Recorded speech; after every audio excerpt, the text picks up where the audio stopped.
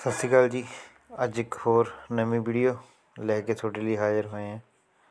Swaraj 733 FE ਇਹ tractor ਬਹੁਤ ਘੱਟ ਮਿਲਦਾ ਵੀਰੇ, ਇੰਨਾ ਸਾਫ਼ ਤੇ ਅੱਜ ਤੁਹਾਨੂੰ ਪੂਰੇ ਸਾਫ਼ ਟਰੈਕਟਰ ਦੀ ਵੀਡੀਓ ਦਿਖਾ ਰਹੇ ਹਾਂ।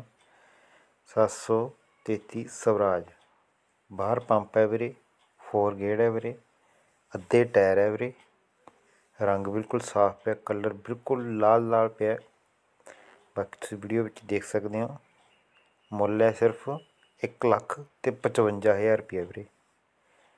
ਸਿਰਫ 1 ਲੱਖ ਤੇ 55000 ਰੁਪਏ ਮਾਡਲ ਹੈਗਾ ਵੀਰੇ 2002 ਜੇ ਕੋਈ ਮੇਰੇ ਵੀ ਲੈਣ ਦਾ ਚਾਹਵਾਨ ਹੋਵੇ ਤਾਂ ਉਹ ਕਮੈਂਟ ਬਾਕਸ ਵਿੱਚ ਕਮੈਂਟ ਕਰ ਸਕਦਾ ਹੈ। ਤੇ ਆਪਾਂ ਹੋਰ ਵੀ ਵੀਡੀਓ ਦੇਖ ਕੇ ਰਿਆਤ ਕਰਵਾ ਦੇਵਾਂਗੇ ਤੁਸੀਂ ਦੇਖ ਸਕਦੇ ਹੋ ਟਰੈਕਟਰ ਬਹੁਤ ਸੋਹਣਾ ਹੈ। 733 ਸਵਰਾਜ। ਧੰਨਵਾਦ ਵੀਰੇ ਸਾਰਿਆਂ ਦਾ।